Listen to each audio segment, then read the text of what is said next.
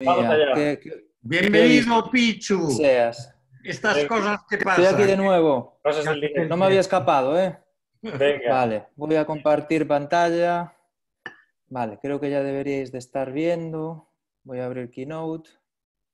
Madre mía, cuántas vueltas he dado. No sé, cosas de, de la Wi-Fi que, que nunca deberían de pasar. Vamos a ver. Creo que es mejor. Creo que es mejor, Pablo, si tienes abierto previamente la presentación, ¿sabes? La tengo aquí. Ya la te- Ah, vale, ya está, pues ya está, perfecto. Venga. Vale, ¿se ve bien? Sí, muy bien. Vale, Bueno, te presento un segundito, ¿vale? muy bien. Bueno, pues tenemos la suerte de tener aquí, un poco apurado, pero de tener aquí al, al doctor Pablo Álvarez Novoa, que bueno, él se licenció en Santiago, hizo el máster de implantoprótesis en, en Santiago también, leyó su tesis doctoral eh, hace, ¿cuánto hace? ¿Dos añitos, Pablo? Pues hace dos años, sí. Dos añitos, sí. Y nada, y ahora es profesor también del, del máster de, de endodoncia restauradora y estética. Y bueno, la verdad es que es una de las grandes eh, joyas que tenemos en el máster, porque la verdad es que el- los alumnos, siempre que hablas con ellos, están felices con sus clases. Entonces, bueno, sin más, adelante, que seguro que aprendemos mucho. Bueno, Pablo, muchísimas gracias por la presentación. Eh, la verdad que, bueno, nada, lo de los currículums está muy bien para, para las oposiciones, pero a mí lo que me interesa es que hoy de lo que, de lo que pueda hablar un poquito, pues eh, que os sirva de utilidad en el día a día. Voy a hablar de algo eh, bastante básico, porque básico desde el punto de vista de qué es la base de cualquier clínica odontológica en el día a día, que es restaurar dientes, eh, dientes en este caso posteriores. Y antes de nada, pues mm, quiero contaros, sin que, eh, pues un poquito cómo, cómo fue mi camino hasta aquí, ¿no? Yo, como bien decía Pablo, eh, terminé la carrera e hice un máster de prostodoncia porque me gustaba mucho, pues, este tipo de cachivaches que son los, los articuladores y me pasé unas cuantas horas trasteando con ellos aprendiendo a hacer cosas de, este estilo eh, o de este otro, trabajando con diferentes materiales, o este tipo de barras que hoy en día pues casi me echarían a patadas de algún foro si las presentase y no fuese algo fresado con CAD-CAM, o este tipo de, restauraciones. Y es que probablemente el, el tipo de formación posgraduada que yo recibí, aunque vamos, estoy encantado y, le debo muchísimo al, al máster de prostodoncia de la Universidad de Santiago, pues probablemente era, eh, fue una, una, enseñanza de una odontología pues bastante clásica, lo que, pues, lo que se hizo hasta no hace muchos años, que era una odontología pensando en la retención, y cuando pensamos en retención en la restauración de dientes posteriores estamos pensando pues, en amalgamas probablemente no ya ha pasado tiempo desde que ha habido un cambio de paradigma y estamos en una época no retentiva, sino adhesiva, en la cual vamos a tratar la estructura dentaria como, como si fuese oro, estructura a la cual vamos a, a, intentar adherirnos con diferentes técnicas y materiales. Y diría incluso más, ya no es que estemos en una época eh, hablando de odontología adhesiva, sino que hay quien acuñó el término de odontología biomimética, intentando restaurar los dientes de una manera que intentemos eh, conseguir que recuperen las propiedades naturales perdidas. Entonces, pues eh, cuando nos enfrentamos a la restauración de, dientes posteriores, en este caso, tenemos pues, una dicotomía o dos caminos a elegir, que dependerá, pues básicamente, del, tipo de, de, cavidad, de tamaño de la cavidad que tengamos que restaurar, de las técnicas que podamos utilizar y de los materiales que podamos utilizar. Y tendremos, como decía, dos posibles caminos. El hacer una restauración directa, con composite en este caso, o el hacer una restauración indirecta. Como en el caso de las restauraciones indirectas, ya el, el doctor José Martín eh, pues dio, una, dio, una, eh, dio un magnífico webinar sobre pues, eh, este tipo de restauraciones, yo voy a ceñirme pues, a, solamente a las restauraciones directas, ¿vale? En el sector posterior. Además, tenéis la posibilidad de acceder a, su webinar a través de la, la página web de, de, de Galimplan y de Endogal, con lo cual eh, os animo a que, si no lo habéis visto, eh, pues le peguéis un, un, visionado, porque es realmente interesante. Y a lo largo de este ratito que voy a compartir con vosotros, os voy a intentar ir pasando pues, por una serie de puntos para poder llegar a tener pues, ciertas ideas claras o ciertos protocolos claros acerca de eh, cómo enfocar este tipo de, restauraciones. Eh, es cierto que, como dije al principio, voy a hablar de cosas básicas que posiblemente muchos de vosotros ya sepáis o utilicéis en vuestro día a día. Eh, pero intentaré eh, darle una justificación a lo que hacemos y por qué lo hacemos y acompañarlo pues, de, alguna, de alguna imagen clínica, porque al final a los dentistas lo que nos gusta es ver dientes realmente. Entonces, eh, hablando del aislamiento del campo operatorio, esto que parece que nos seguimos dándole vueltas en pleno 2020, pues tiene ya unos cuantos añitos, allá por finales de 1800 es cuando eh, Banum, que fue el, dentista que, describió este tipo de, aislamiento, eh, pues eh, introdujo este tipo de técnica. ¿no? Y parece que en pleno 2020 pues, aún tenemos que seguir insistiendo en, por qué aislar el campo de trabajo, donde, nuestra zona de trabajo. Creo que en el caso de odontología adhesiva es fundamental trabajar en un eh, campo de trabajo aséptico, en el cual no solo no haya contaminación bacteriana, sino que no debe de haber eh, humedad externa a, la zona donde, donde, estamos trabajando. No podríamos hacer de manera adecuada o correcta, o al menos no lo podríamos hacer también, eh, odontología adhesiva, como en este caso, si no tenemos la ayuda del, del dique de goma. No solo por eso, sino porque nos permite trabajar con, más tranquilidad. Yo no sé vosotros, pero yo veo esta imagen y pues no sé, sé que puedo trabajar tranquilo, que la lengua no va a estar incordiándome, que incluso que veo mejor porque ese color azul es como que me permite descansar la vista, me da un contraste adecuado con el diente. Incluso el paciente pues no me interrumpe porque, porque no está hablando. Puedo eh, ver perfectamente mis cavidades, sé que puedo aislarlas, es decir, me da calidad de vida a la hora de trabajar, ¿no? Y no podemos olvidar que en la época que estamos viviendo, el utilizar dique de goma es casi algo que debería ser un protocolo porque nos permite tener menos riesgo de contaminación cruzada con el paciente, con todo este tema del, coronavirus de marras. Entonces, ¿qué, es lo que podemos utilizar para, para realizar el aislamiento del campo operatorio? Bueno, pues tenemos un, armamentario bastante amplio. Yo no voy a ir tocando o no voy a ir hablando de todos los tipos de clamps que hay, todos los tipos de diques que hay, sino que os hablaré de qué utilizo yo y por qué lo utilizo y por qué me parece útil. ¿vale? Entonces, hablando sobre diques de goma, yo creo que al menos en el mercado que yo conozco y, y por lo que hablo con compañeros, creo que esta marca de diques eh, pues es un poquito la que, la que domina el mercado. ¿no? Y dentro de, su gama de diques que nos ofrecen para odontología restauradora, pues el de color azul y de eh, grosor medio. ¿vale? ¿Por qué color azul? Bueno, pues si viésemos una, una rueda de colores, resulta que el color azul va a ser complementario, o la gama de los azules va a ser un color complementario a los amarillos y naranjas, que es el color predominante en, los dientes, con lo cual pues nos da un contraste eh, muy bueno a la hora de trabajar en odontología restauradora. Podríamos decir lo mismo de los colores verdes, que se utilizan mucho en, endodoncia. Eh, podríamos relacionarlo con que la gama de los verdes es la complementaria de los rojos, ¿sí? Eh, por, el, por el color del tejido pulpar, pues también tendríamos un buen contraste en ese aspecto. No solo existe el nictone, sino que veíais en la imagen anterior que ponía un dique de, silicona, porque habrá pacientes que tendrán alergias al látex eh, y será importante utilizar otro tipo de material.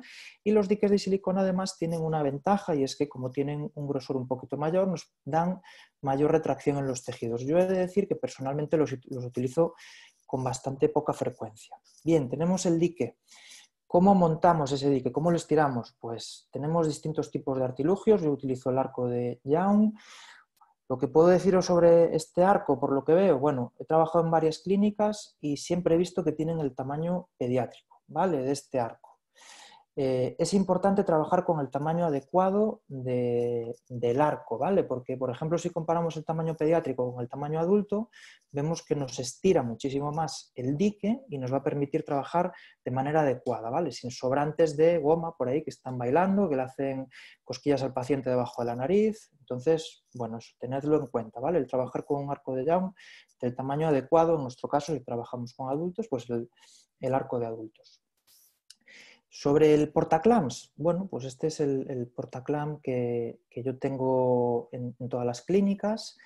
Eh, es un buen portaclams, pero tiene un problema, que debido al diseño de la parte posterior del mango, tiene una apertura limitada, ¿no? porque cuando voy cerrando ese mango, eh, voy apretando las, eh, el, mango, resulta que acaba chocando. Con lo cual, un pequeño tip o una idea es cortar el portaclams a esta altura con un disco de, carborundum, por ejemplo, montado en pieza de mano de laboratorio y lo que vamos a ganar es una apertura extra e incluso diría que un poquito más de manejabilidad en el portaclams porque nos permite cogerlo con dos dedos, como si fuese una pinza. ¿vale? El tema de los clamps reconozco que es algo bastante personal, ¿vale? Con lo cual, pues yo os hablaré de qué tipo de os voy a hablar de qué tipo de, de utilizo.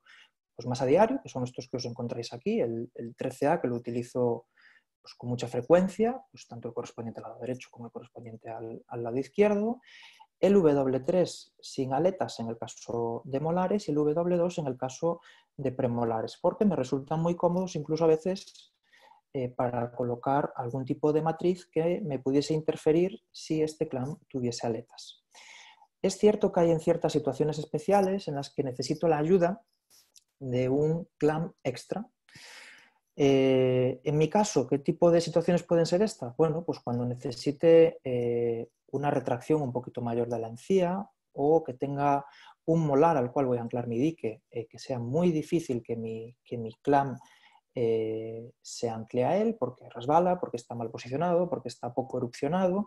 Entonces utilizo muchas veces el 8A o su análogo sin, sin, alas, que es el, W8A. A veces eh, puedo utilizar el, del sistema Brinker el B4 cuando voy a hacer alguna obturación eh, en la zona cervical de algún molar y necesito tener una retracción extra. No es muy frecuente en el área posterior. Y por último, cuando estoy trabajando en un, último molar en el cual pues, puedo tener una cavidad distal, eh, el dique me interfiere, tengo poco espacio, si el tamaño de boca y la anatomía del paciente me lo permite, pues utilizo un eh, CLAM 8AD que tiene un arco adistal eh, pues más amplio y lo que va a hacer es retraerme, retraerme el dique y darme un poquito de espacio extra. ¿Qué elementos auxiliares tenemos para la utilización del dique de goma? Aunque tenemos más, creo que el principal es eh, la utilización de, la seda dental. La, seda dental eh, nos, da, eh, nos abre un campo de posibilidades muy, muy grande. ¿Por qué pongo la imagen del Essential Floss de Oral-B? Porque de todos los tipos de seda que yo he probado, para mí es sin duda la mejor con la que puedo trabajar. no se deshilacha, no tiene hilillos por ahí en la, en la composición, está encerada, con lo cual resbala bastante bien al utilizarla en las zonas interdentales. ¿Y qué puedo hacer con la seda? Bueno, pues como veis en la imagen de la derecha, puedo empezar a, evertir el dique. ¿no? Tengo un volar donde el dique no está evertido, vemos, que, vemos el, margen del dique y por ahí, pues si hay una presión excesiva desde la cavidad oral puede entrar saliva y tengo un premolar donde el dique sí está evertido y puedo trabajar con la total tranquilidad de que por un lado estoy exponiendo ese margen y por otro no voy a tener filtración de humedad. Lo mismo que veis en, este, en esta imagen donde el dique está vertido y nos permite pues, realizar un procedimiento adhesivo de manera adecuada, pues en este caso el, cementado de, una incrustación. Más imágenes de un dique vertido. Nos permite al retraer el dique eh, pues es una ayuda extra si utilizamos ligaduras de seda para trabajar en cavidades que pueden afectar a la zona cervical y en las cuales el dique podría resultar un estorbo. Y a veces incluso lo que nos ayuda es a mantener el dique pues, en su posición. Como habéis ido viendo, en todas estas imágenes. Por último, y de manera casi anecdótica, casi anecdótica perdón, eh, pues nos puede servir también para estabilizar alguna matriz. Eh, pues cuando tenemos un extremo libre y queremos trabajar con este tipo de matrices seccionales que nos dan pues una zona anatómica interproximal muy adecuada. Hablaba de que la seda dental sirve, pues entre otras muchas cosas, para evertir el dique. Para evertir el dique podemos utilizar también o ayudarnos de las espátulas de composite. Pongo la imagen de esta espátula de Jufriedi porque es sin duda alguna, de las que he probado, la, más eh, útil y la que tiene una manipulación junto con el dique de goma más adecuada, porque, por, dos razones fundamentales. Por un lado, porque es una espátula en la cual la parte activa es bastante fina y rígida, ¿vale? No como otras espátulas que son muy flexibles. Y por otro, porque tiene un diseño twist en el cual los dos, las dos partes activas de la espátula están rotadas y me dan mucho juego para las zonas interdentales. Es el tipo de espátula que utilizo también pues, para poner el hilo de retracción cuando hago una preparación dentaria y tengo que tomar una, impresión, por ejemplo.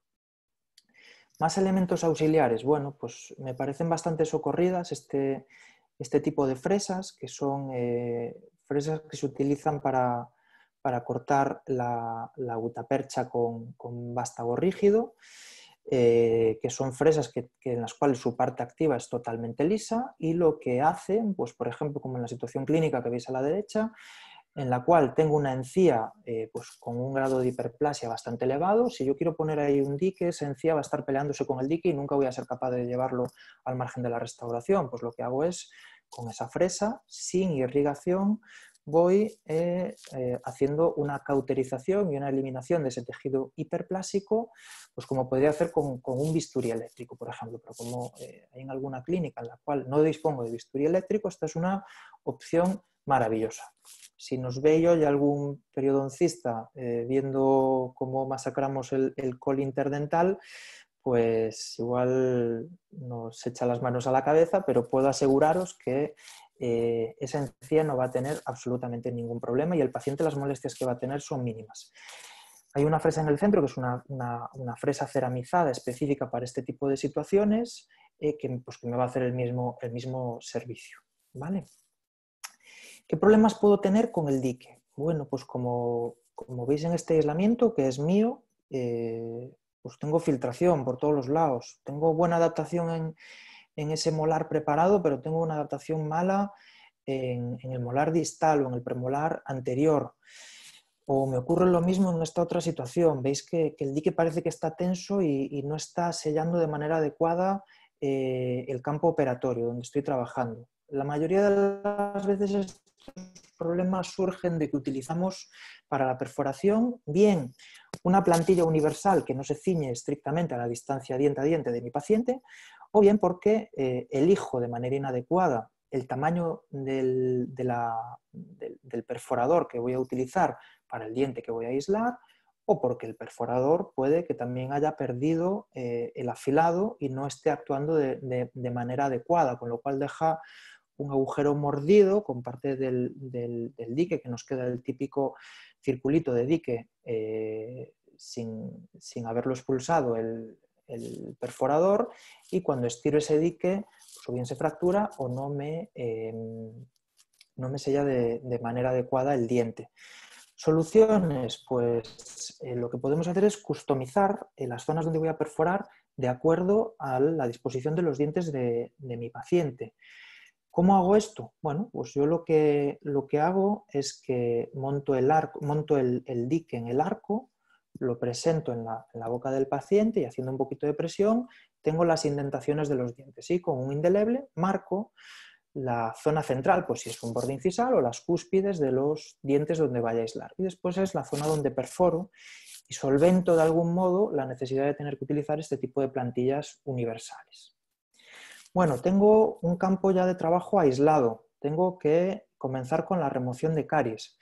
Y una duda que me pueda saltar es si tengo que remover totalmente la lesión cariosa puedo hacer una remoción parcial, algo que pues no es mm, tan reciente, ya tiene algunos años, pero eh, pues que, está un poquito en boga ahora. Y la verdad es que la literatura eh, parece que apoya eh, claramente el hecho de que no tenemos que remover completamente el tejido afectado siempre y cuando se cumpla que el tejido pulpar esté en un estado de salud y asintomático. En esos casos yo lo que puedo hacer es hacer una remoción paso a paso del, del tejido cariado y si tengo riesgo de hacer una exposición pulpar, ya digo, en un diente asintomático y con un tejido pulpar sano, puedo dejar la parte más cercana a la pulpa con tejido afectado y hacer mi procedimiento restaurador de manera pues, sin preocupaciones. ¿Vale? Como, puede, como puede ser este caso. Eh, se suele definir ese tipo de dentina afectada como una dentina pues, de aspecto eh, correoso, ¿no? de, cuero, se dice en la, literatura inglesa. Como veis ya os voy dando pistas de cómo restauro la mayoría de los dientes posteriores. Veis por ahí una imagen donde hago un grabado selectivo. Eso pues ya os puede ir dando mm, pistas o pautas de, de qué tipo de procedimiento adhesivo suelo hacer. Bien, he limpiado la caries, puede que haya dejado parte del tejido afectado para no hacer una exposición pulpar, Bien, ¿qué hago con, el esmalte de los márgenes de, mi preparación? ¿Lo biselo o no lo biselo? Pues de nuevo parece que la literatura apoya el hecho de que biselemos levemente ese esmalte cabo superficial. ¿Por qué? Pues por un lado porque voy a tener un patrón de prismas del esmalte más favorable al, grabado y eh, estamos haciendo odontología adhesiva, lo fiamos todo a la adhesión de nuestra restauración no solo por eso, sino porque también vamos a tener una mejor adaptación, o eso nos dicen los estudios, de nuestra restauración, eh, con menor tinción marginal en el tiempo. Con lo cual, puedo hacer remoción parcial, puedo hacer biselado de, las, de los márgenes en esmalte de mi restauración. Muy bien.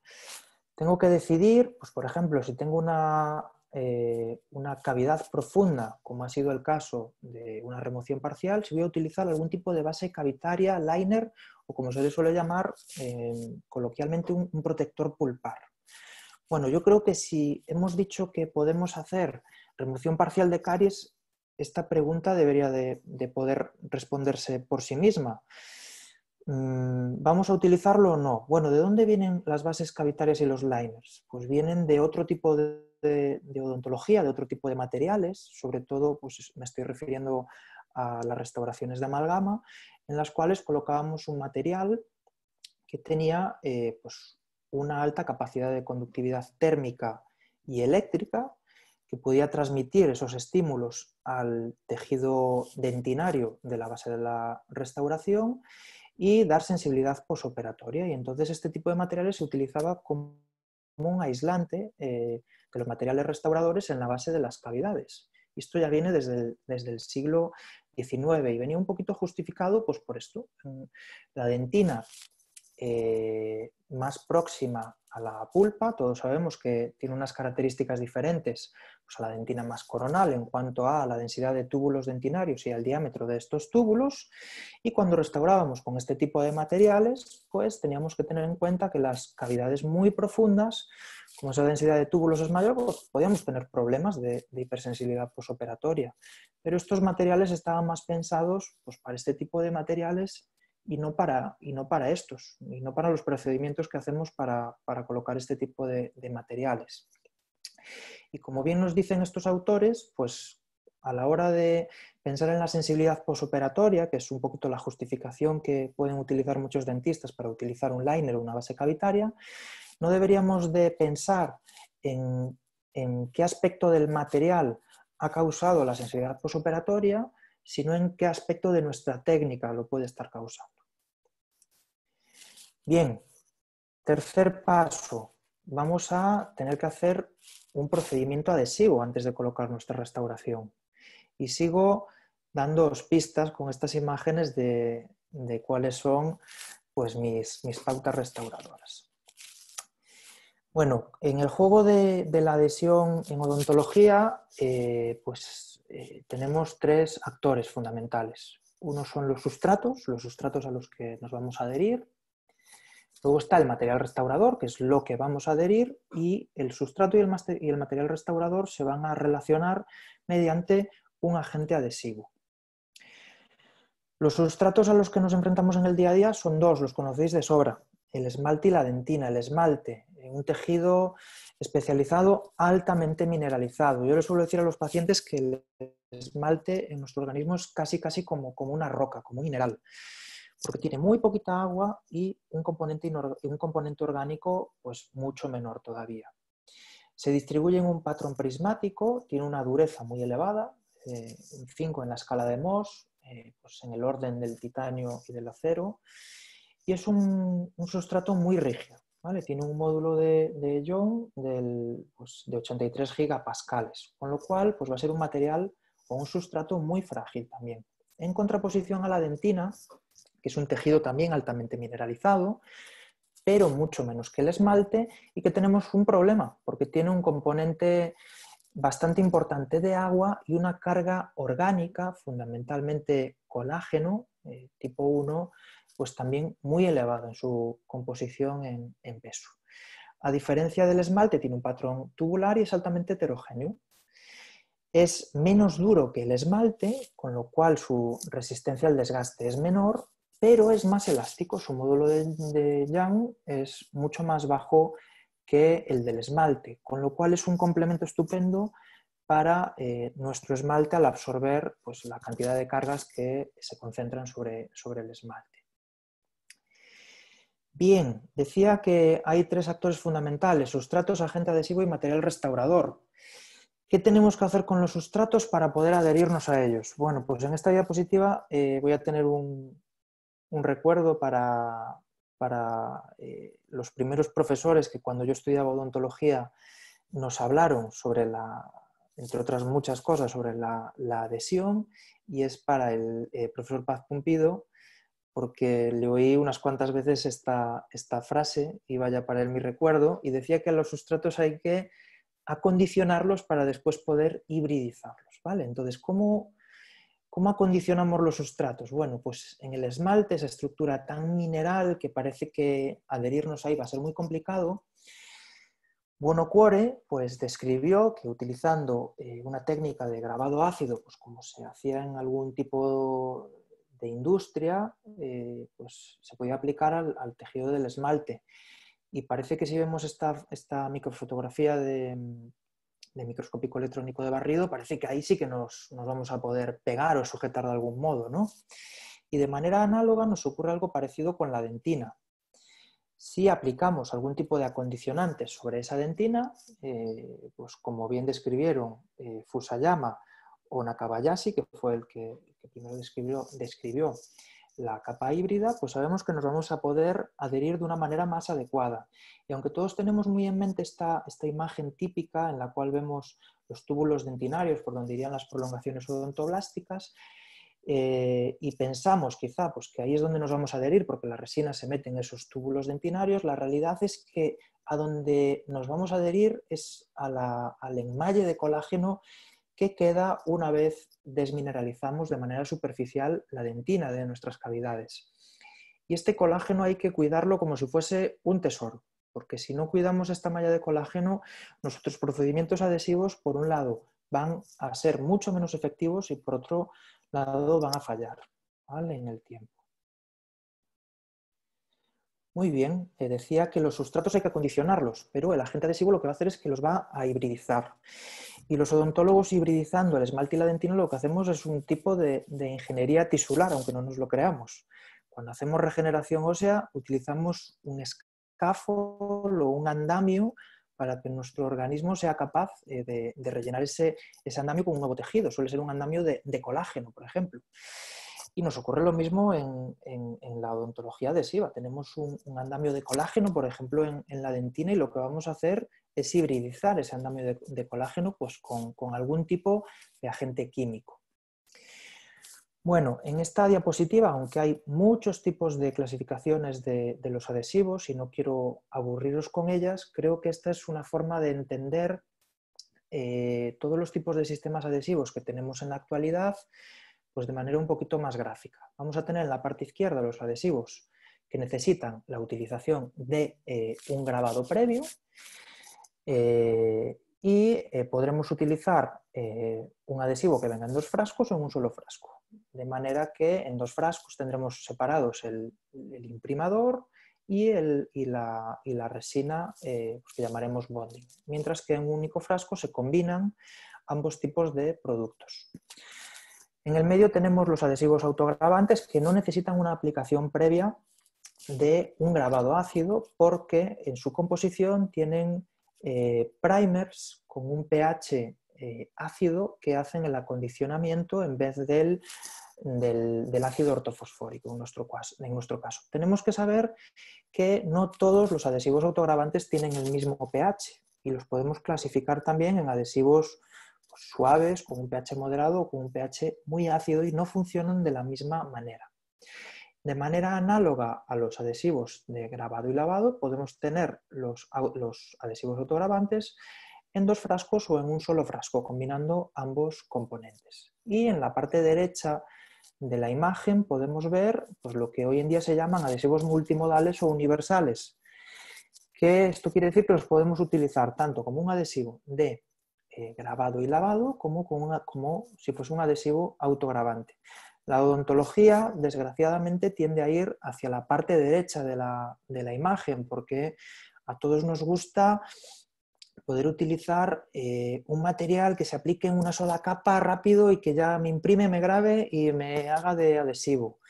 Pero desgraciadamente los, los, adhesivos son sistemas químicos bastante complejos y cuantas más cosas metamos en un mismo frasco, más interacción va a haber entre esas moléculas que, tenemos dentro de ese frasco y tenemos que pensar que más difícil va a ser que consigamos pues, los mismos resultados en todas las situaciones clínicas. ¿vale? Entonces, ¿qué ocurre? Pues como, bien decía cuando, hablaba de los sustratos en odontología, nos vamos a adherir a dos sustratos muy diferentes, ¿vale? En cuanto a su composición, en, en cuanto a su grado de humedad y en cuanto a su homogeneidad. Entonces, bueno, pues podemos tener muchísimas dudas. Pues, ¿Qué adhesivo utilizo? ¿Cómo voy a secar mi cavidad antes de aplicar el adhesivo? ¿Cómo lo, cómo lo aplico? Bueno, entonces, em, realmente tengo que deciros que yo de, toda esta clasificación utilizo fundamentalmente casi casi los adhesivos más antiguos, ¿vale? Adhesivo de grabado y lavado de tres pasos, adhesivo autograbante de dos pasos y en ocasiones pues utilizo los adhesivos de grabado y lavado mm, que vienen en un solo bote. ¿vale? Bien, eh, mi protocolo adhesivo o el protocolo adhesivo que utilizo en restauraciones posteriores con mayor frecuencia es la utilización de un autograbante de dos pasos. El gol estándar en este caso es Clearfield SE Bomb, ¿vale? de la casa Curaray. Em, ¿cómo, hacemos para, utilizar este tipo de adhesivos? Vale. Lo primero que vamos a hacer es un grabado selectivo en esmalte. ¿vale? Eh, aunque es un adhesivo autograbante, el grabado en esmalte va a hacer que este tipo de adhesivos funcione mucho mejor en, un sustrato tan mineralizado como es el esmalte. El grabado en esmalte lo conocemos todos. Ácido ortofosfórico al menos 15 segundos. Pongo con el número 1 como como opcional para proteger la dentina de mi cavidad del, grabado ortofosfórico el poner una bolita de teflón compactado cubriendo la dentina para que el ortofosfórico no entre dentro de la cavidad.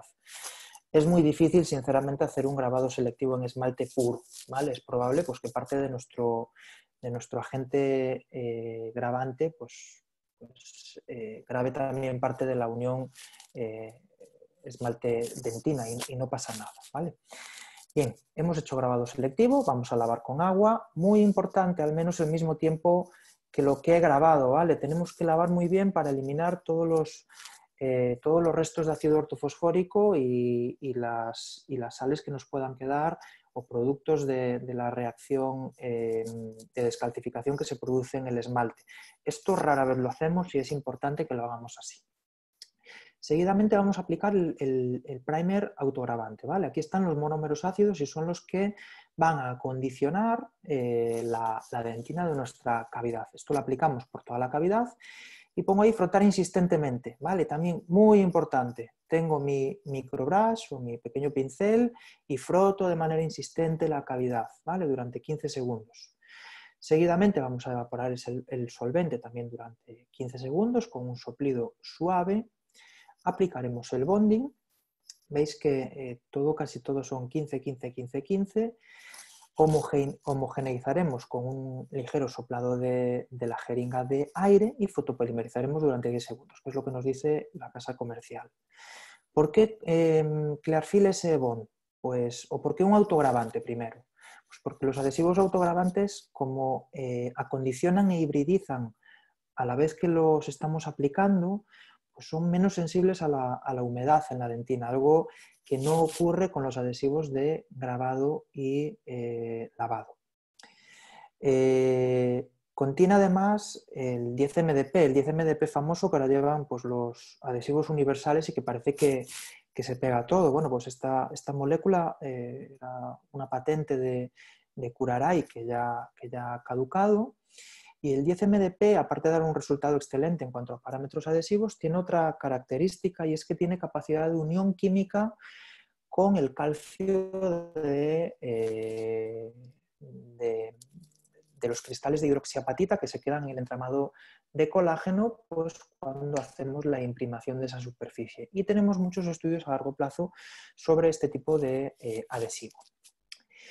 Mi otro ojito derecho es el, el Optibon FL. Eh, como veis, soy eh, poco práctico en el sentido de que utilizo eh, adhesivos de varios frascos, pero es que la literatura es muy clara al respecto y estos dos son los adhesivos Gold estándar en todos los trabajos de investigación. ¿Cómo actuamos en este tipo de adhesivos? De nuevo hacemos grado selectivo en el esmalte, igual que antes. Vamos a grabar la dentina. En este caso, si el esmalte lo grabamos al menos 15 segundos, la dentina no más de 15 segundos. Vamos a lavar abundantemente con la jeringa de agua, eh, al menos el mismo tiempo que el grabado, si no más. Posteriormente, y como está demostrado que la clorexidina al 2% puede ayudarnos a inhibir las eh, colagenasas presentes en, la dentina, vamos a aplicar clorexidina al 2% pues en un algodón empapado en nuestra cavidad durante un minuto. Posteriormente yo seco la cavidad bien con una bola de algodón, bien con papel absorbente tipo pues eh, papel de filtro de cafetera o bien con una esponja pues de las que las típicas de los, de, los esponjeros de endodoncia que voy cortando, la coloco en la cavidad, la dejo 5 segundos y la retiro. Y de nuevo pues voy a aplicar primary bonding aplicando eh, eh, ambos componentes de manera enérgica, ¿vale? Con, con nuestros microbras y posteriormente fotopolimerizo. ¿Por qué este tipo de, adhesivo? Pues porque es el gol estándar, tenemos múltiples estudios a largo plazo. Es cierto que tenemos que tener cuidado con la humedad en la dentina, parámetro que es bastante, relativo y difícil de, estandarizar, pero creo que secando de la manera que os digo, pues es la, forma un poquito más adecuada de poder hacerlo. Y tiene otra cosa, que es que la resina adhesiva tiene un alto porcentaje de carga y eso pues, se hipotetizaba que al tener una, carga elevada, el, grosor de la capa adhesiva que nos iba a dar, pues iba a ser una capa adhesiva bastante resistente y que pudiese contrarrestar pues, el estrés de, polimerización. ¿vale? Muy bien. Eh, ¿Qué ocurre? Pues que en el día a día, en la restauración de dientes posteriores, nos podemos encontrar con situaciones clínicas pues bastante diferentes, con cavidades pequeñas y fácilmente restaurables, con cavidades de tamaño medianas, con cavidades en las cuales nos faltan paredes, con cavidades en las cuales tengo que utilizar distintos tipos de matrices. Pues básicamente, ¿qué tipo de situaciones van a ser? Cavidades clase 1, cavidades clase 2, cavidades que combinen los dos tipos anteriores eh, de la clasificación de Black o cuando pueda tener ausencia de alguna pared a medida que voy hacia abajo en esta lista, me acerco más a las indicaciones de una restauración indirecta. Muy bien, ¿qué claves son importantes a tener en cuenta en este punto en el que nos encontramos? La técnica adhesiva es una técnica sensible. Es importante que hagamos caso, por un lado, a las instrucciones del fabricante, que hagamos eso que no hacemos nunca, que es leernos el prospecto y las instrucciones de nuestro sistema adhesivo que evitemos la contaminación de la estructura eh, del campo operatorio, es algo que ya hemos hablado, y que seamos capaces, por otro lado, pues de contrarrestar la contracción de polimerización y que hagamos una adecuada técnica de colocación de composite y de polimerización. Entonces, la literatura al respecto sobre distintas técnicas para controlar el, estrés de, polimerización es eh, muy amplia, ¿vale? Y como en nuestro día a día nos cuesta mucho leernos estos artículos, nos cuesta mucho entenderlos y ser críticos, voy a intentar pues, resumirlos de manera práctica para ver qué podemos hacer en nuestro día a día para controlar el estrés de polimerización. Básicamente son muchas cosas que ya sabéis y que ya, y que ya hacéis.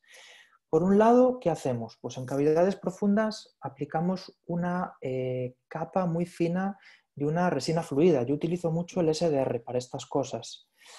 A modo, curiosamente, de liner, que decía que eh, no hay que utilizarlos. Eh, voy a hacer una aclaración y es que no hay que utilizarlos con el objetivo de disminuir la sensibilidad posoperatoria, pero no, no está de más utilizarlos en cavidades profundas, este tipo de resinas, para disminuir el estrés de polimerización. La razón está en que estas resinas tienen un módulo de elasticidad muy bajo, son más flexibles que el composite que vamos a aplicar posteriormente y eh, pueden ayudarnos a mejorar nuestra capa adhesiva. Otra cosa que podemos y debemos hacer es aplicar nuestro composite de manera estratificada en capas, intentando que las capas de composite eh, pues no superen los 2 milímetros de grosor y que toquen el menor número de paredes posibles. Y se ha hipotetizado también que el modo en el cual eh, apliquemos la luz de fotopolimerización podría ayudarnos a disminuir el estrés de polimerización, hay que, aunque eh, hay autores que mm, pues no están de acuerdo con, estas conclusiones, pero yo os lo menciono para que sepáis que los distintos modos de polimerización que tienen algunas lámparas, sobre todo las más modernas, pues eh, se ha hipotetizado, pues sobre todo el modo rampa y el modo impulsos, que podrían ayudarnos a disminuir el estrés de polimerización. ¿Vale? ¿Por qué pongo esta imagen clínica? Bueno, esto es eh, una cavidad en un 17 superior, ¿vale? La estamos viendo a través de un espejo en un paciente que abre poco, que me cuesta bastante acceder ahí, eh, algo que todos conocéis del día a día. Y yo tengo que colocar ahí un material, tengo que polimerizarlo, ¿vale? Pero resulta que eh, el diámetro de mi lámpara de fotopolimerizar eh, es pues, de este diámetro y no me cubre toda la cavidad o que la enfermera está colocando la lámpara y no es capaz de acceder y me la deja ahí y ella no le da importancia a donde esté colocada la lámpara porque simplemente está cerca. O la tengo aquí colocada y encima eh, la punta de la, lámpara, la, parte óptica de la lámpara está contaminada, está manchada o está fracturada. Y estos son fotos de, de las lámparas de fotopolimerizar con las que trabajo y veis que que son diferentes unas a otras en cuanto a diámetros, en cuanto al tipo de tecnología que utilizan y en cuanto a su conservación, ¿vale? Y esto unido, y voy un poquito atrás, a que una cavidad tan profunda va a hacer que la distancia entre nuestra lámpara de fotopolimerizar y eh, lo que vaya a fotopolimerizar es amplia, debemos de saber que disminuye mucho la fuerza de adhesión que vamos a conseguir. De tal modo que si yo tengo esta cavidad y muy probablemente pues tenga la base de la cavidad a 5 o 6 milímetros, yo coloco mi lámpara, aunque esté bien colocada ahí, y solo lo fotopolimerizo durante 10 segundos, estoy perdiendo capacidad adhesiva. Con lo cual a veces hay que adecuar la polimerización a eh, pues la situación clínica que estoy, a la que me estoy enfrentando. ¿Vale? Y por supuesto, voy a volver a pasar para adelante, tengo que tener control del estado de las puntas ópticas de las lámparas de fotopolimerizar. Si ya sumamos con encima, pues esto lo, vemos todos, se me ha quedado ahí un pegote de adhesivo o de composite o de no sé qué, pues es que estoy perdiendo capacidad y potencia de mi lámpara. ¿vale? Hay otra cosa que me gustaría eh, comentaros y es el diseño de la lámpara. Eh, hay lámparas que tienen un diseño mucho más accesible pues, que otras. Eso va a hacer que la podamos colocar también de manera más adecuada en las cavidades. Entonces veis que hay un montón de cosas sobre eh, las lámparas de fotopolimerizar que quizá no, no, le damos importancia en el día a día y son súper importantes. No vale de nada que hagamos un aislamiento maravilloso, que pongamos el mejor adhesivo del mundo y resulta que luego lo fotopolimericemos y que me dé un 20% de la capacidad de ese adhesivo. ¿vale? Entonces, tened esto en cuenta, no solo la potencia que, va a tener esa, lámpara, otra cosa que también tenemos que controlar en el día a día, sino pues, esas cosillas que he ido mencionando. No solo eso, sino que las, lámparas eh, más actuales, en las cuales se combinan distintos tipos de LEDs con distintos tipos de longitud de onda, pues también tienen influencia, porque no polimerizan igual cavidades grandes, ¿vale? Como nos dicen estos artículos, o el tamaño del diámetro de la, punta activa, ¿vale? De la, óptica de nuestra, de nuestra lámpara de fotopolimerizar, ¿vale?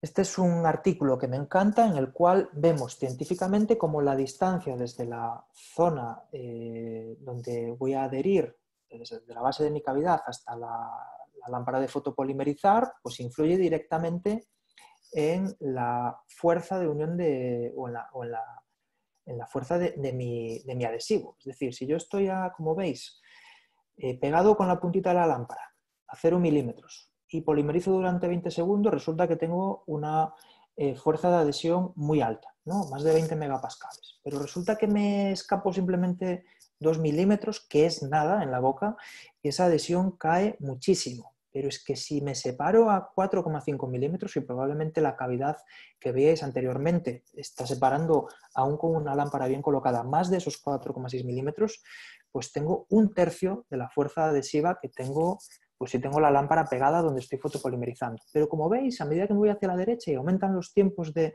utilización de la polimerización de la lámpara, aunque tenga una eh, cavidad muy profunda, si yo aumento el tiempo de fotopolimerización, de nuevo la fuerza adhesiva aumenta, ¿vale? Con lo cual, en cavidades grandes tengo que compensar el tiempo de fotopolimerización, ¿vale?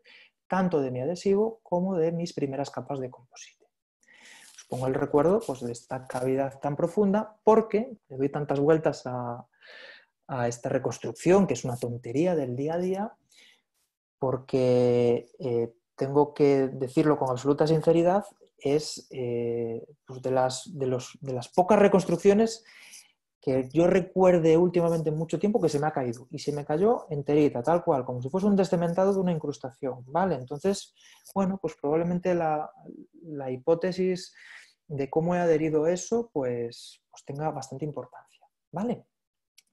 ¿Qué materiales voy a utilizar para trabajar en restauraciones posteriores? Bueno, pues necesito ver bien, ¿vale? Yo estos días de vuelta al trabajo lo estoy pasando horriblemente mal porque con las gafas de protección, la pantalla y demás, pues puedo trabajar poco con las lupas. Y me he hecho eh, lupa dependiente, ¿vale? Veo como como una persona de 80 años sin lupas, me siento fatal trabajando. No solo las lupas, sino tener buenos espejos, ¿vale? Por ejemplo, los espejos CIRC, que los encontraréis eh, en, la, tienda de Endogal, eh, los distribuyen, eh, pues una opción fantástica porque dan muchísima luz y una imagen muy nítida a la zona donde, donde estoy trabajando. Y utilizo mucho este tipo de espátulas, que es un kit de, del doctor Dieci, de, de Jufriedi. Utilizo en concreto la de color gris, la de color azul y la de color verde y a veces utilizo algún pincel. ¿vale? Estas son cosas, la de los materiales, pues bastante personales. ¿vale? No pretendo que, pues, que acabéis utilizando este tipo de materiales, sino pues que si no los conocíais, pues conozcáis eh, materiales diferentes. Y en cuanto a tipos de matrices y cuñas, utilizo la mayoría de las veces cuando me hace falta pues, matrices seccionales pues, del estilo de una palodent con sus anillos eh, o eh, anillos tipo Garrison que me encantan. En pocas ocasiones utilizo matrices del tipo Automatrix porque si tengo que utilizar eh, una, una matriz de ese tipo seguramente es que ya estoy entrando en el terreno de una restauración indirecta y uno de mis últimos descubrimientos son este tipo de matrices que veis abajo a la derecha, que son unas matrices rusas que se llaman TOR, que eh, me recuerdan mucho a las matrices Palodent antiguas, ¿vale? que eran unas matrices muy rígidas y que me encantaban porque no se deformaban prácticamente nada. ¿vale? Entonces, que las conozcáis, las venden en eBay, las venden en AliExpress y son pues, mucho más baratas que lo que estamos acostumbrados a pagar por, pues, por una matriz eh, en el día a día. Más cosas, bueno, por los de Style Italiano, que son muy curiosos, venden también este tipo de tarjetas donde nos recuerdan la, la, anatomía. Ya no tenemos ni que ir al libro de anatomía dental para recordarnos las formas básicas que tenemos que darles a nuestros dientes posteriores, ¿vale? Para mí es importante eh, no soy ni, ningún, ningún fenómeno, ¿vale? Ningún dentista de, de, de, gurú de los grupos de Facebook, pero bueno, me gusta que si hago una restauración, mi restauración se parezca a un diente, ¿vale? No que sea un diente, pero al menos que se parezca a un diente. Y es importante que le demos anatomía, ¿vale? A nuestras restauraciones posteriores. Bien, pues vamos a ver un poquito de imágenes clínicas, que al final es lo que nos descansa la vista. ¿no? Situaciones súper sencillas, ¿vale? una cavidad clase 1 en la cual ese estaba vago y solo aíslo ese, ese, molar, hago la limpieza de la cavidad, grabado selectivo, aplicaré eh, mi adhesivo autograbante en dos pasos y acabo pues eh, colocando mi composite en esa cavidad y dándole una cierta anatomía y jugando con los tintes, cosa que no es en absoluto necesaria, no le da ningún plus a la restauración, más allá, bueno, pues a veces puede tener una cierta naturalidad un poquito mayor. Hay a quien pues, no le gustan los, los tintes. ¿Qué tipo de, de, composite? Pues un composite microhíbrido. Realmente eh, cualquier composite microhíbrido de pues, una casa medianamente conocida pues, va a dar eh, buenos resultados. ¿vale? Cuando hago eh, caries, como puede ser eh, una eh, caries de, fisuras, donde la anatomía está bastante mantenida, me parece útil este tipo de técnica, que es una técnica de sello o stamp en inglés, en la cual lo que hacemos es copiar con, pues yo en este caso utilizo eso que veis ahí en la imagen de la izquierda, es la, tipo, la, típica resina que se utiliza como barrera protectora en los blanqueamientos, que suele sobrar mucho. Eh, la coloco sobre la superficie pues, del molar que quiero copiar su anatomía oclusal, pongo un microgras encima y lo polimerizo, ¿vale? Luego coloco una capita más de, de la resina encima para que el microgras me quede ahí bien pegado. Eso lo retiro. Cuando termino de hacer la preparación de la cavidad, pongo un trocito de teflón encima y presento de nuevo pues el, el stamp o el sello que he hecho con la anatomía originaria de, mi molar, ¿vale? Esta sería la, la imagen de ese sello que, como veis, pues reproduce de manera fiel pues, eh, la anatomía original de, del molar que voy a hacer. Ya digo, esto es útil cuando tenemos eh, caries, pues sobre todo de, que, que, inician en una fisura, aunque luego tengan el tamaño que sea, eh, pero que mantienen la anatomía original del molar. ¿vale? Vale, seguimos avanzando en tamaños de cavidades. Ya no tenemos solo una cavidad oclusal, sino que tenemos una cavidad pues, oclusodistal, en este caso, de un tamaño ya moderado en el cual necesito utilizar pues, una matriz y un anillo que me estabilice esa matriz y que me haga la función además pues, de una cierta separación dental, ¿vale? Para conseguir un buen punto, un buen punto de contacto. ¿Qué hacemos en estos casos? Bueno, pues yo lo primero que hago es, eh, una vez tengo limpia la cavidad, coloco mi matriz, coloco mi cuña y coloco mi anillo y reconstruyo eh, la pared que le falte a ese diente, de tal manera que consigo una cavidad clase 1. ¿vale? ¿Cómo hago esta fina pared? Pues la hago de manera intentando pues, estratificar también para minimizar pues, la posible contracción de polimerización de, ese composite. ¿vale? Una vez hecho esto, pues lo que voy a hacer es, eh, es decir, ya he aplicado mi sistema adhesivo, voy a colocar eh, en el fondo de la cavidad un, poquito de, SDR, ¿vale? Una fina capa y posteriormente pues, pues voy a, a estratificar y a finalizar ese composite. Ya veis que, que utilizo los tintes seguramente en exceso y, y muchas veces eh, pues, eh, no sutilmente, ¿vale? Es, algo en lo, que, utilizo de, desde hace poquito realmente y aún estoy ahí con la, con la, curva de aprendizaje de los tintes. Pero veis que son siempre un tinte ocre y a veces un tinte blanco, pues en las puntas de, de alguna cúspide. Bueno, siguiente situación. No tengo una sola cavidad interdental, sino que tengo pues, dos cavidades. Esta imagen, el único objetivo que tiene es eh, pues, que veáis que eh, los sistemas de matrices y de anillos se pueden combinar perfectamente. Puedo poner un, una matriz y un anillo en una cavidad mesial a la vez que pongo una matriz y un anillo en una cavidad distal. Esto está muy bien para la foto y, para quedar bien en Instagram, pero mmm, no tiene ninguna otra utilidad y además, pues bueno, incluso podría decir que, entorpece el, trabajo a veces, porque tengo pues, mucha herramienta en mi campo operatorio, ¿vale? Entonces, para la fotito está bien, pero no sé hasta qué punto es, útil siempre hacerlo de este modo, ¿vale? O esta situación clínica en la que tengo dos cavidades pues, de un tamaño importante, pero juntas. Eh, mm, no voy a repetiros los, pasos de los procedimientos que utilizo, pero puedo resaltar en estas imágenes que estoy utilizando pues las, las Palodent eh, clásicas que yo he conocido de siempre, que me encantaban porque eh, son una, una matriz rígida, que no se deforma. No sé si veis la imagen de abajo a la izquierda, que esa matriz está, está impoluta y eso me cuesta mucho conseguirlo con las matrices eh, palodenta actuales. Y como bien os decía antes, soy poco sutil a la hora de utilizar los tintes. De hecho, este creo que es el, primer caso en el cual he utilizado un tinte a la hora de restaurar y ese tinte está mal utilizado, ¿vale? Porque lo he puesto en la última capa, una capa intermedia y como veis es que se ven casi pues los pegotes de la, sonda, ¿vale? Con la que utilicé para, que utilicé para, poner ese tinte. Pero eh, hay que enseñar también las cosas que, no vemos tan bonitas y que, al final es lo que, lo que nos hace mejorar en el día a día. Bueno, y luego pueden darse situaciones en las cuales pues, me vea casi casi obligado no a utilizar una matriz seccional, sino a utilizar una matriz del tipo Automatrix que no me gustan tanto pues, por un motivo fundamental y es que tienen una forma eh, pues, de tiesto que no se parece a la anatomía de, una zona interdental. Entonces, cuando tengo que utilizar este tipo de, matrices, eh, pues estoy en una situación de probablemente de plantearme el colocar una, restauración indirecta y aprovechar simplemente este tipo de matrices pues, para hacer eh, el build-up, ¿vale? la reconstrucción o la restauración previa hacer la preparación dentaria para mi restauración indirecta.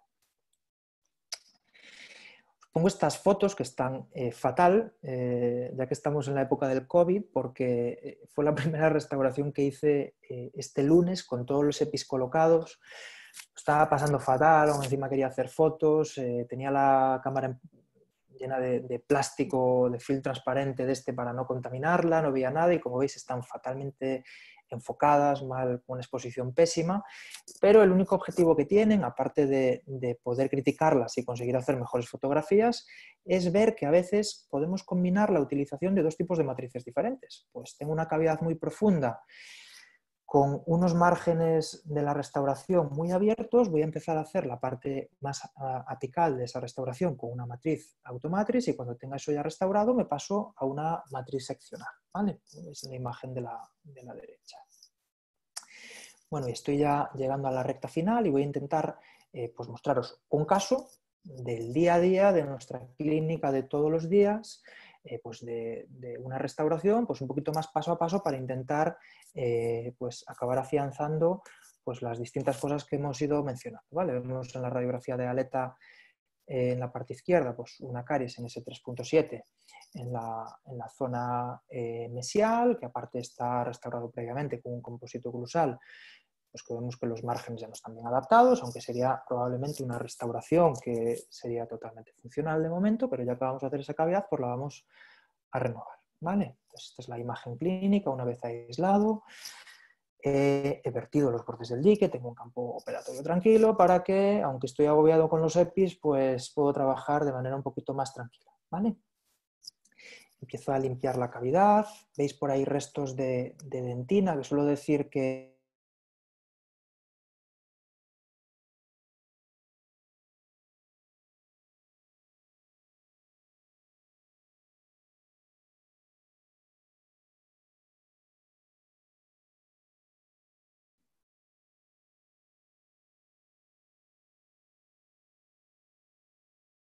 Hola César.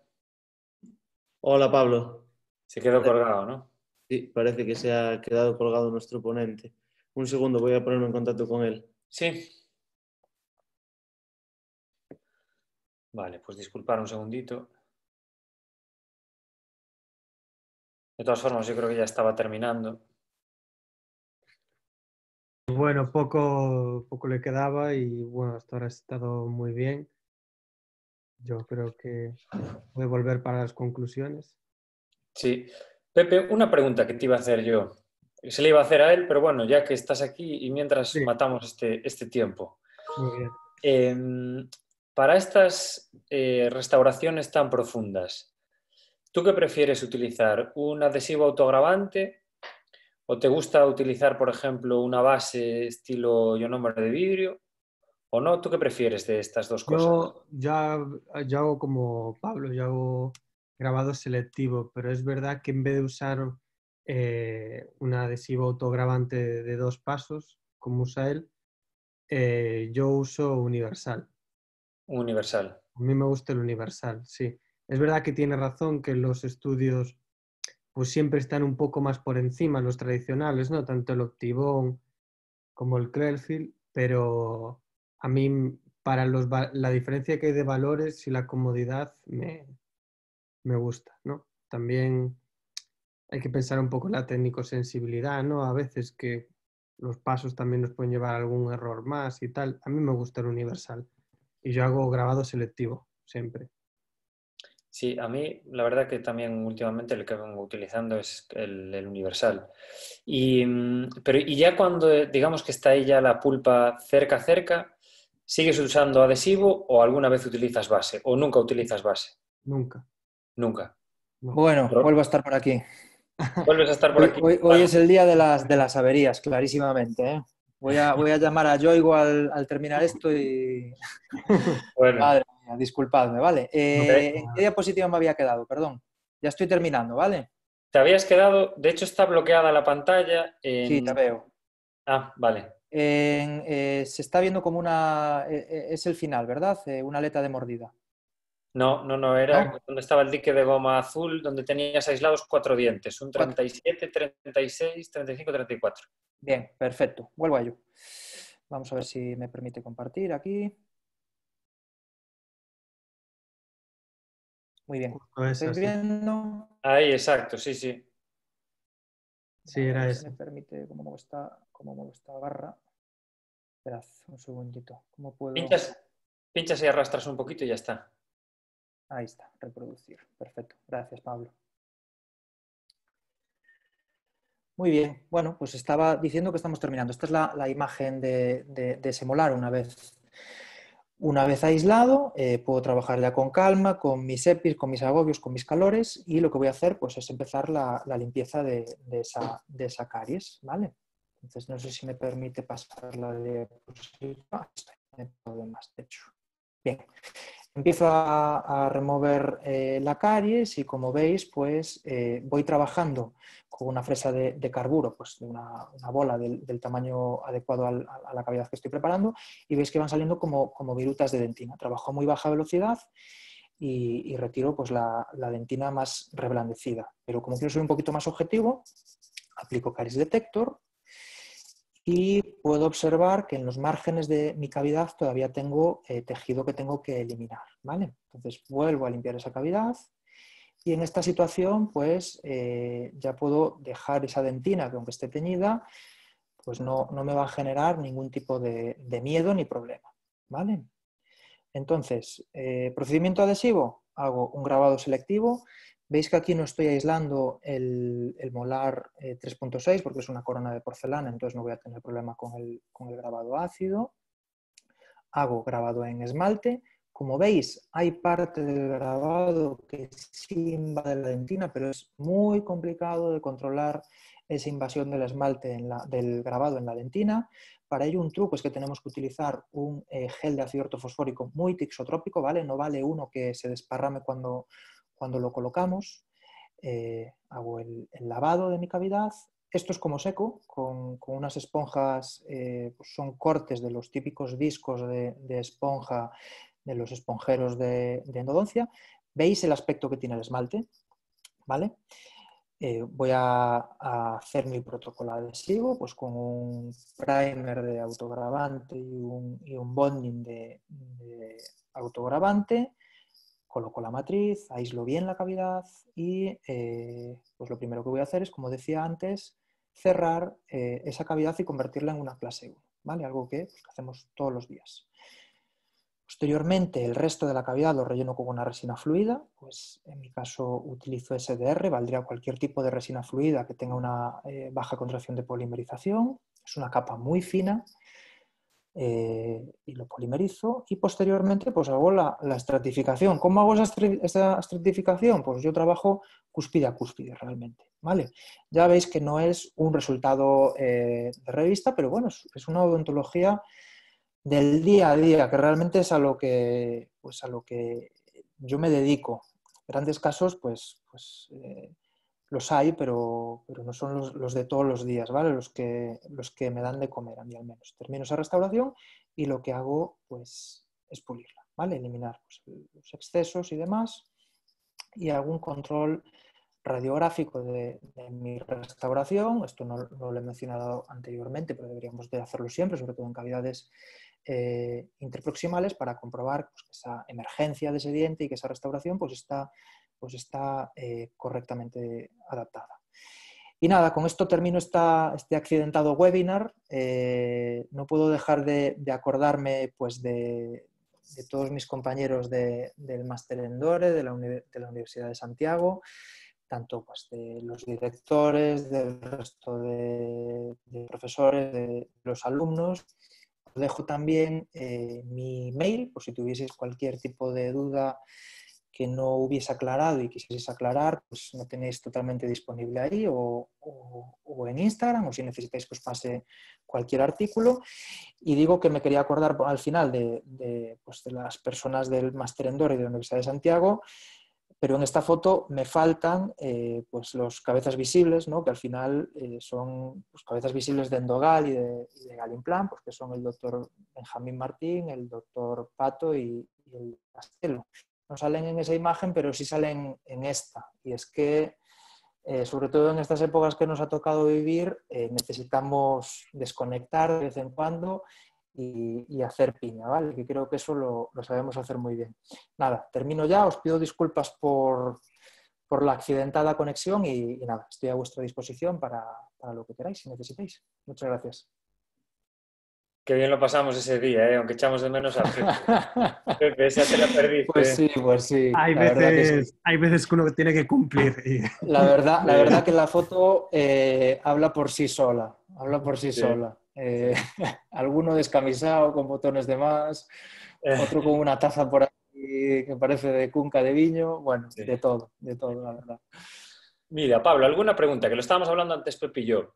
Eh, Dime, de, de, restauraciones muy profundas, muy próximo pulpares. ¿Alguna vez ¿Colocas alguna base estilo vidrio ionómero o no? ¿O ya directamente ahora solo... Eh, vamos a ver, em, intentaba responder a eso. Si, yo voy a necesitar una base porque estoy muy próximo a pulpar y ese diente estaba asintomático, tengo una opción previa, que es que puedo hacer una, remoción parcial de esa caries y dejar parte de la, dentina afectada más próximo pulpar sin remover y sin que me vaya a generar ningún tipo de duda o problema. Como además posteriormente voy a hacer un protocolo adhesivo con un adhesivo autogravante, en este caso de, dos pasos, el que Arfil Ebon, pues no me preocupa en exceso. Yo, mm, vamos, eh, no, tengo problemas de sensibilidad posoperatoria o al menos que los pacientes me los, me los manifiesten. Es, un poquito el, modo de, trabajar que tengo. Eh, sí utilicé en el pasado porque, porque porque me formé de esa manera, pues bases cavitarias, pero creo que hoy en día, con las técnicas adhesivas y con los protocolos de remoción de caries que tenemos, pues eh, no necesito utilizarlos, ¿vale? Entonces eh, no los utilizo realmente. Decidme que no me he quedado colgado. No, no, no. Ah, uf, no, no. Estaba cayendo un goterón de sudor. Otra cosa más. Otra cosa más. ¿Cuál es la anilla de todas que más te gusta? Y luego hay aquí alguna pregunta y no sé si Pepe tiene alguna más. La anilla que más te gusta. Eh, la que más utilizo sin duda es la, Garrison, realmente. Aunque la, la Palodem Plus nueva también me gusta bastante. ¿Qué ocurre con la Garrison? Sí, exactamente. ¿Qué ocurre con la Garrison? Pues que es un, anillo eh, muy potente, muy potente, mucha fuerza. Entonces me da un extra de, separación en el área interproximal, tanta que a veces no coloco, no coloco una cuña. Eh, y la eh, con las Paloden Plus, pues eh, podría hacer mi día a día prácticamente mm, pues en el 100% de casos, ¿vale? Muy bien. El doctor Martín. Sí, yo te quería preguntar, que seguro que todo nos ha pasado alguna vez, eh, cuando tienes que hacer un, levantar un margen, ¿no? Un deep margin elevation, que, que normalmente nos encontramos con un margen estrecho, no muy amplio, pero profundo. ¿Y qué, qué tipo de matriz usas o, o que si tienes Eh, hay, hay- hay un tipo de... mm, eh, No, no lo hago siempre igual, ¿vale? A veces es un poco de error porque Sí. no lo consigo a la primera con, pues, con la estrategia de, de colocación de matrices que voy a utilizar. La elevación marginal a veces es un procedimiento un poco estresante en según qué sí. situaciones, porque, bueno, porque el margen puede estar muy profundo, no vemos, lo pasamos mal con el dique y demás. Entonces, ¿qué intento hacer? Bueno, lo primero que intento colocar es una eh, matriz automatriz de las de menor altura, ¿vale? Eso muchísimas veces no consigue llegar al, al margen de, de la cavidad que, que quiero elevar. Si lo consigo de ese modo, perfecto, tiro para adelante, ¿vale?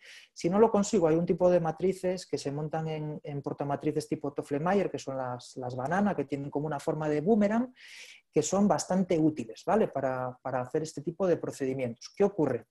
que añade el colocar el portamatrices y no siempre es fácil en según qué situaciones donde tenemos poquito espacio, pero son unas matrices que me parecen bastante útiles. Y a veces, en otros casos, lo que intento hacer es una combinación de una automatriz con eh, bien una paloden, bien una matriz de tipo Tofflemeyer que recorte y coloque dentro de la eh, matriz automatriz como un, pues lo que se llama un, un matriz in matriz, ¿no? es decir, una matriz dentro de otra matriz.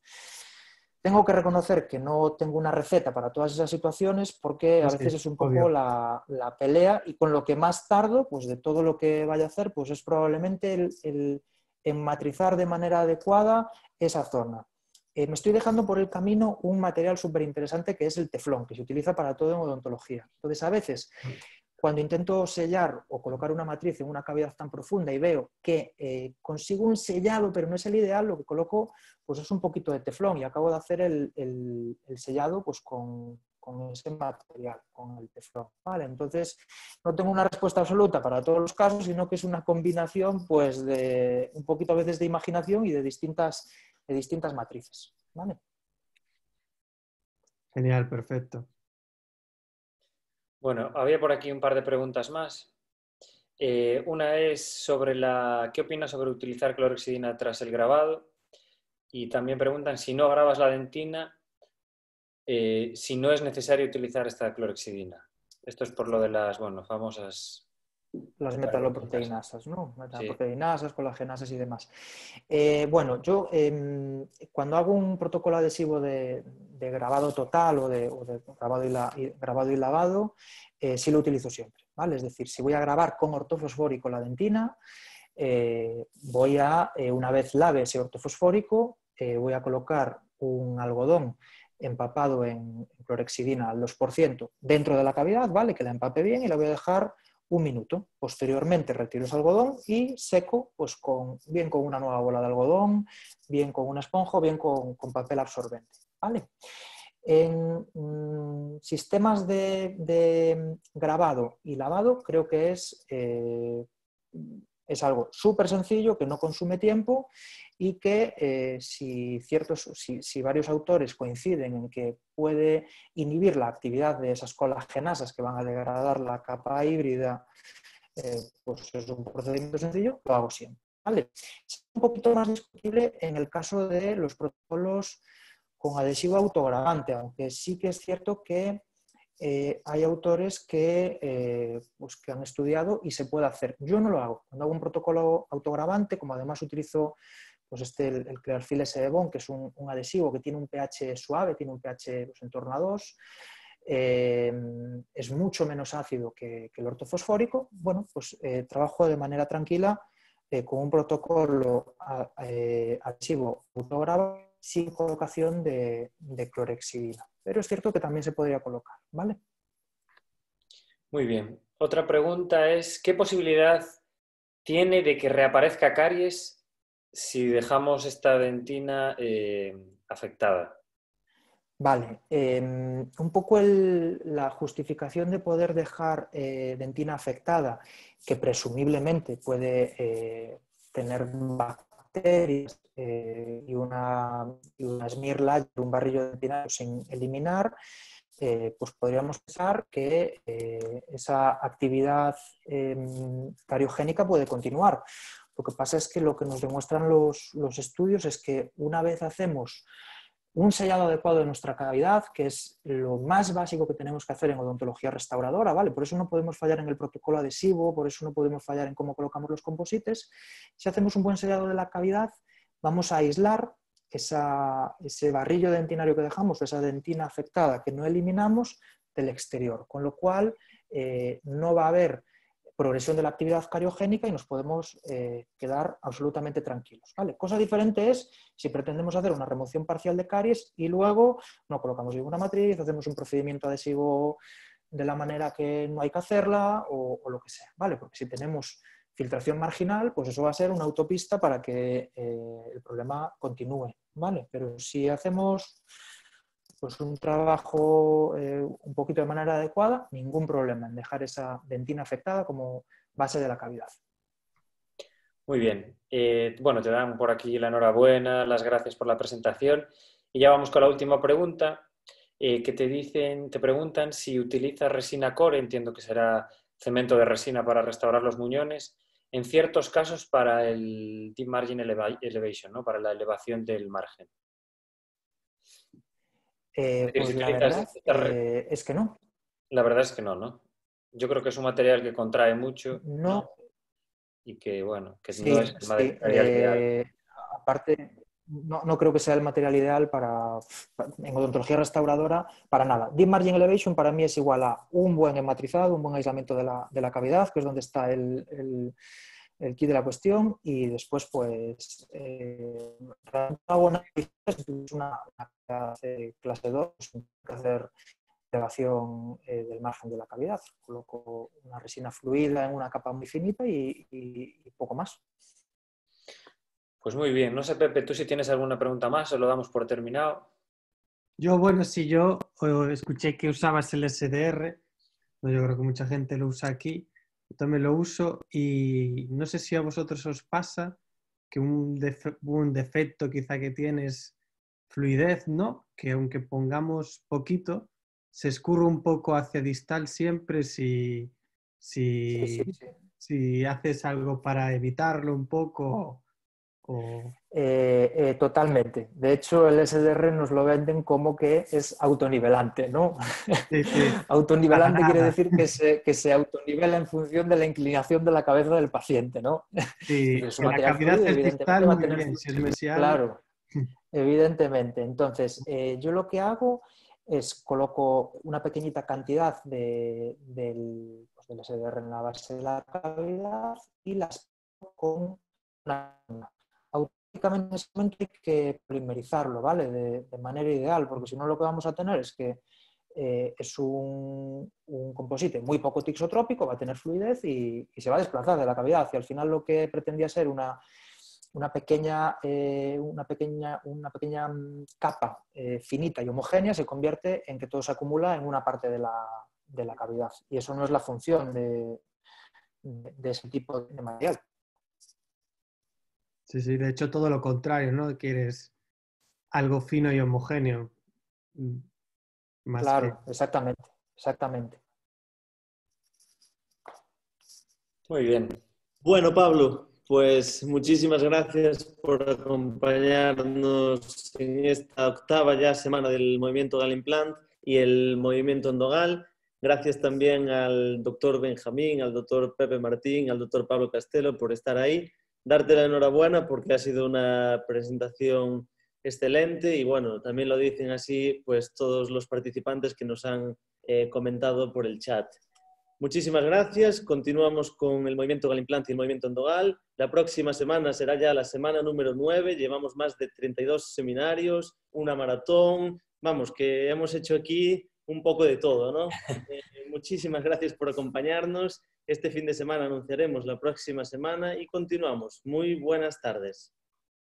Adiós. Hasta luego. Gracias a todos.